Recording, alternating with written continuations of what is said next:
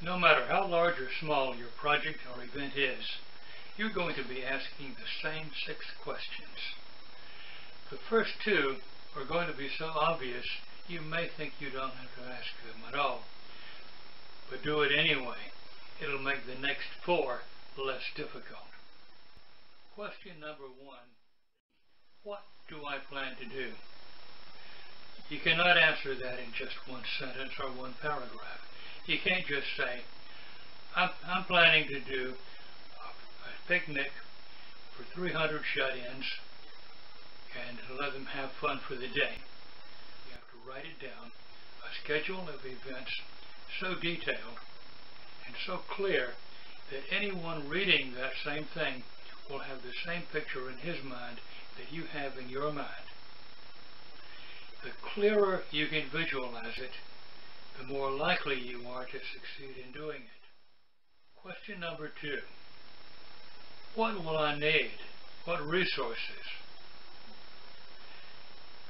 If it's a shut-in picnic, don't just say, I'll need food for 300 people, or even if you detail the menu, don't just say, I'll need 300 servings of mashed potatoes.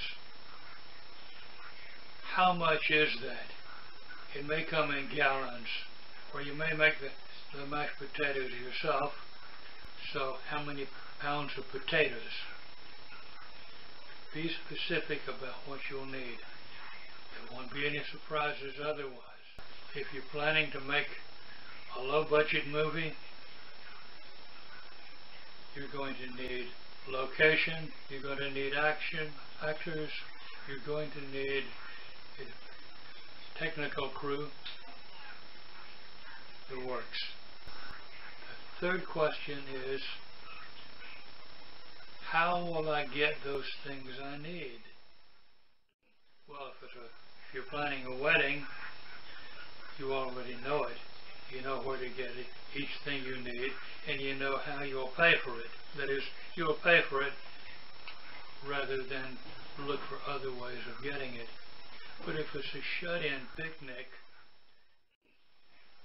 and you're wanting to feed 300 people and provide entertainment and all, you have several ways of getting what you need. You can borrow it, you can use what you have, you can beg it from somebody. You can buy it if you have the money, or barter for it. That sounds little, that sounds old-fashioned, but you see bartering even to this day. If you watched a Little League baseball game, you've seen that those kids have the name of some local company on their jerseys. That local company bought the jerseys for them. If it's food, it may come from a canning company. And, well, if you're making a low-budget movie, that may be where the rubber meets the road. Because typically when you're writing a movie, you've got the script and you go out looking for uh, locations and you're waiting for the actors to come in auditioning if it's a low budget movie, that doesn't happen. When I made a movie, I was the only actor. I was the entire crew and the director, including cameraman. My resources were uh, the camera that I'm using now, PowerPoint, Paint, download for uh, for public domain movies and location, whatever I saw around town. So what I did, you when you run into problems like this, a script is no good. You start by asking, what resources do I have? And as I did, and then I ask, what movie can I make built around these resources? So that's what I did. To give an example of, uh, of a single scene from that movie, I had a photograph of an old house that was used for storage, a short video of a house that was in stage of demolition. I had my back balcony facing the door, and I had some little scenes from public domain. I put them together in one little video that is one little scene make them look, I think, fairly professional. But anyway, find out in detail how you're going to get the things you need. Now, question number four is, what steps must I take to do what I'm wanting to do, to create the project or the event. You tend to think of saying, now, then I got to do this and this and this. But when you're planning a major event, or even medium range, you, you do it in reverse. You start with the date of the event. What do I need in all this? Which is your answer to question number one. What do I need to do to get it done by that date? I'll give you an example.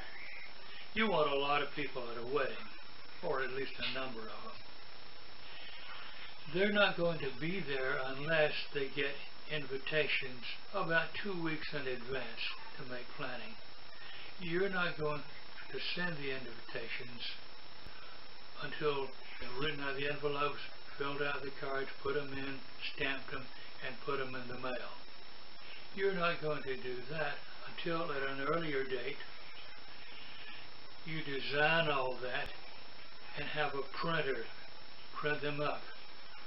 And then of course at a later date you have to get them back from the printer before you do all those other things. So you work it in reverse. And it doesn't work in a straight line because the entire event is going to uh, involve a lot of things. The food, the location, the people, all like that. Before that gets done, this, this, and this has to be done. Before this, this, and this is done, each one a series of other things. So what you have is a tree going backward, so that maybe you have dozens of things to do. Or like a spring going into a creek, into a river, into the ocean. That's how it works. Question number five. What can go wrong? Well, that's really a three-part question. What can go wrong? How do you keep it from going wrong? And if it goes wrong anyway, how do you make it go right? If you're planning that picnic, it might rain. No way to stop that. How do you make it go right? Well, we did it with the Columbia Jaycees. We made sure it was in a park where there was a larger building nearby so that if it rained, we could move it inside. That's what you do. There are more ways that things can go wrong than right, so figure they could go wrong, plan for them. And question number six, look at each thing you've planned. How can I make it better? Or after you've already done it, ask it again. How can I make it better next time? That's how you do it.